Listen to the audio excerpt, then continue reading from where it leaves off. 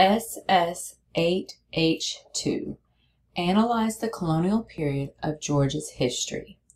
Element B Analyze the relationship between James Oglethorpe, Tomochichi, and Mary Musgrove in establishing the city of Savannah at Yamacraw Bluff.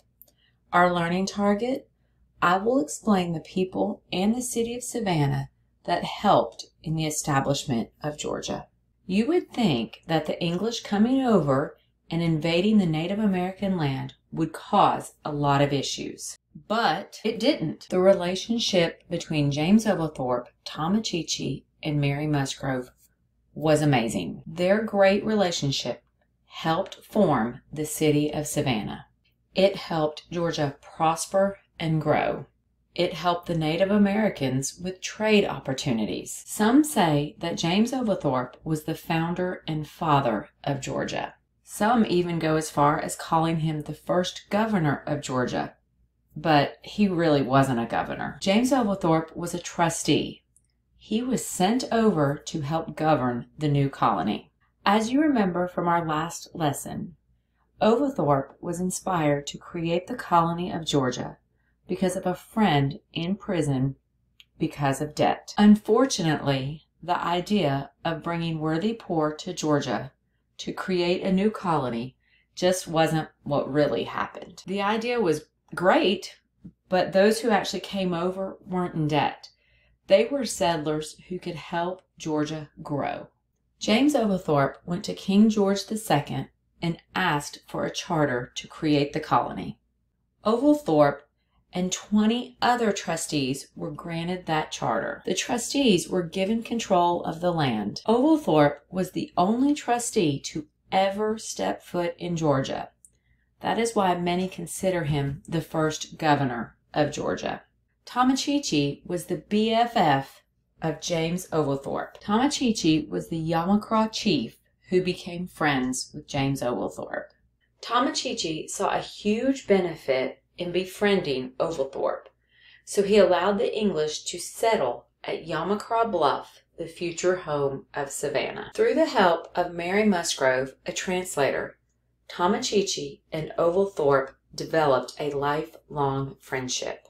Tomochichi even traveled back to England with Oglethorpe and helped him establish English speaking schools in Georgia. Tomochichi was so important to the colony of Georgia and to the British that when he died in 1739, he was buried in Savannah with full British military honors.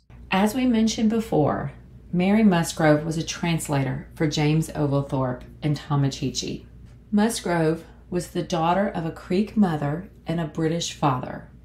Because of this, she knew both languages and both cultures, which was a huge benefit. Mary and her husband John established a trading post in the Yamacraw Bluff area. Even after John died, Mary continued to run the trading post. In addition to the trading post business, Mary was Oglethorpe's personal interpreter. For her years of service, the Creeks gave her land, although the British government and the Georgia colony refused to see her claim. Musgrove then took matters into her own hands. She and 200 Creek Indians went to Savannah to argue her claims. After some time, Royal Governor Henry Ellis and the British government gave her a sum of money and St. Catherine's Island. Mary Musgrove died on St. Catherine's Island sometime after 1763. The first city in Georgia Savannah. It is located on the Savannah River about 15 miles inland. Tomochichi agreed to move his people upstream to allow Oglethorpe and his people to settle on the Yamacraw Bluff. The city is laid out in typical European fashion. It is a series of grids that allows for wide streets with tree covered squares and parks.